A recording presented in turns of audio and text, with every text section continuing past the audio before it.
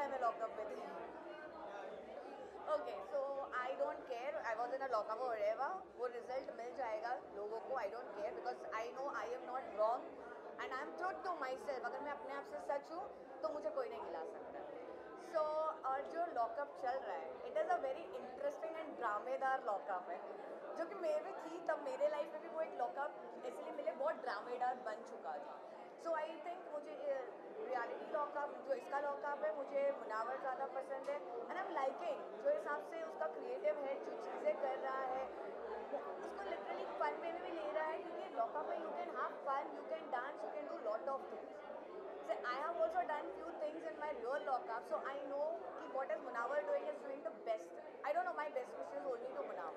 दोस्तों, आप क्या कहना चाहेंगे? नीचे कमेंट कर लिखें और भी खबरों के लिए सब्सक्राइब करें गपशप तो।